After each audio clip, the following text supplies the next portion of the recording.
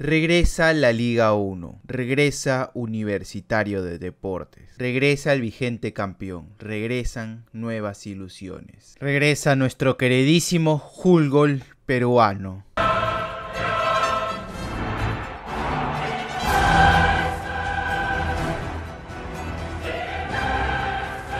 Algunos ya se están bajando del barco sin ni siquiera comenzar. Y yo les voy a dejar las cosas bien en claro. ¿Dónde está tu honor, basura? Esto recién inicia y lo importante del inicio es solamente cuánto esto repercute en tu final. Los campeones se ven al final de temporada. Recordemos cómo inició Sporting Cristal su travesía en la Copa Libertadores, en la pre-Libertadores llegando a grupos y eran súper favoritos para la liga. Mientras tanto Alianza Lima ganaba en la apertura y todos sabemos cómo acabó esta película épico. No se te puede apagar la ilusión si ni siquiera ha comenzado. Tenemos que darle tiempo al equipo, tenemos que darle tiempo a Fabián Bustos. Y no te equivoques, yo no voy a estar aplaudiendo si la U está perdiendo. Es decir, yo le doy tiempo a la U lo necesario o a lo que a mí me parece justo y coherente. Y alguno me dirá, pero Luke Fossati desde el minuto uno vino. Gente, es fútbol, parece mentira, es fútbol. En el fútbol no existe la receta secreta. Y lo siento por lo duro que voy a hacer, pero el que cree tener la verdad en el fútbol es porque no entiende ni un carajo de esto. Perdón, pero es así, para mí es así. Y esto no es apoyar por apoyar, es decir, las críticas son positivas. Si el equipo jugara mal y ya estuviéramos con un tiempo más o menos acorde para que ya haya mejorado en ese aspecto, yo sería el primero en criticarlo. Pero hay que tener un punto medio, ni ser muy súper positivo ni ser súper negativo. Hay que empujar del carro pero no dejarse aplastar por él. Eso sí, todos queremos que llegue diciembre y Calcaterra otra vez nos diga... Acá le traje un pequeño regalo.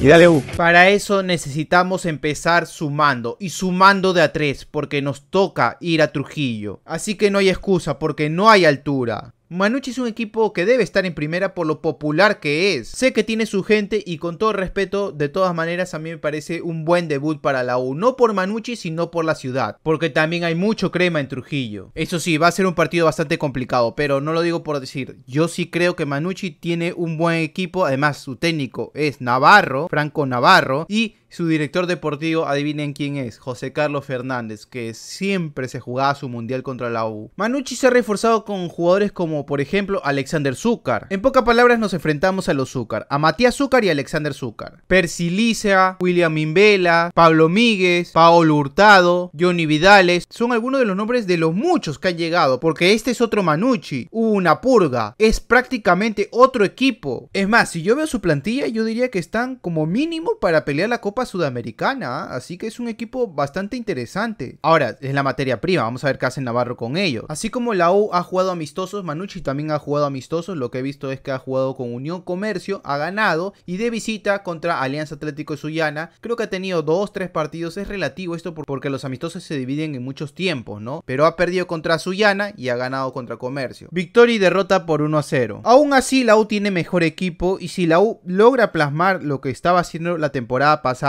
o al menos acercarse, debería de salir ganador. Fácil no va a ser, eso sí, a menos que Heredia le pase lo mismo que le pasó contra Alianza, aunque contra nosotros lo dudo bastante. Heredia y José Carlos Fernández se parecen mucho en ese aspecto. Pero bueno, vamos con la posible alineación de la U, vamos con lo nuestro. Si quieres estar informado del universo este es tu canal, la Garra Look, no sé qué esperas para suscribirte. Tenemos la meta de 35.000 suscriptores antes de finalizar abril. Si cumplimos con esa meta estaré sorteando la camiseta de la U del centenario. Muchos de ustedes no me están apoyando con su like, así que espero que en este video dejen su like. Muchas gracias a la gente que me está dejando su pulgar arriba. En la descripción del video también están mis redes sociales como Instagram, Facebook y Twitter. Puedes compartir el canal con más hinchas de la U, con tus amigos cremas, con tus familiares cremas. Y de todas maneras, muchas gracias a la gente que ya lo está haciendo. Al margen del 0-0 de la noche poeta, la última vez que fuimos a Trujillo nos dejó un buen sabor de boca porque le ganamos a la César Vallejo. Y bueno, ese fue justamente un punto de quiebre para llegar a ganar el clausura y posteriormente el título. Pero cuando nos enfrentamos a Manucci, la temporada pasada fue el partido clave para la salida también de Companucci. El muy recordado penal fallado de Herrera. Otro dato es que Ureña fue expulsado en Trujillo las dos veces, contra Manucci y contra la UCB. Esperemos que esta vez no vuelva a suceder.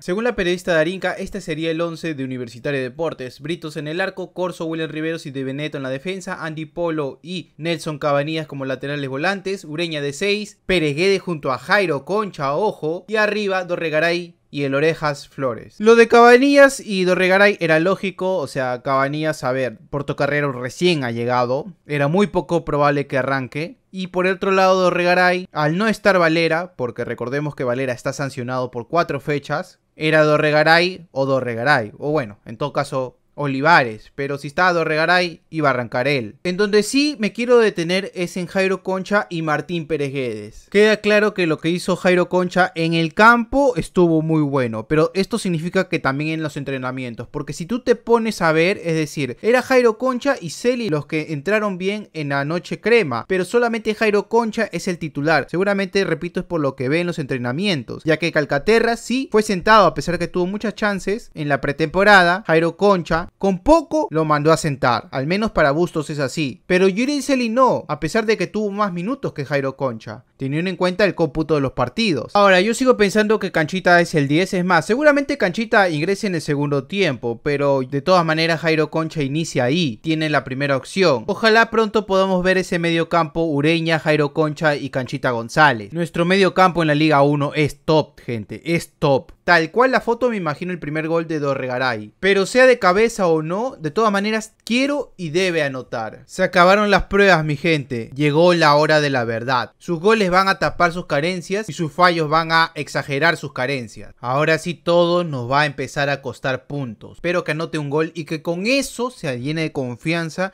y pueda mostrarnos todo su repertorio. Creo que es un partido para aprovechar momentos puntuales porque considero que nos podemos alternar el dominar el encuentro. El buen momento de la U lo tenemos que traducir en el marcador y no dejar que el buen momento de Manucci se refleje en el resultado. Como la cancha está hecha un desastre, es más, hace creo que dos semanas hubo un concierto, como la cancha está en pésimas condiciones, considero que la pelota parada debería de ser un arma importante en este encuentro. Como veo que Manucci tiene buenos nombres, por eso considero que en algunos momentos van a dominar. Yo no creo, bueno, también depende de Navarro, ¿no? Porque Navarro suele tener mucho en cuenta lo que hace el rival. Es decir, no es un técnico que va con la suya, si como se dice, no ser ofensivo o defensivo. Se suele fijar mucho, muy estratega, ¿no? Se suele fijar mucho en lo que hace el otro equipo. Es más, si no juega con doble 9, con doble punta, creo que nos puede complicar. Creo que no hay excusa para presionar a Manucho, al menos en algunos lapsos del encuentro, porque además considero que su defensa, bueno, falta ver el extranjero, pero su defensa, por lo que estoy viendo los nombres, no parece ser muy buena en cuanto a sacar el balón jugado, así que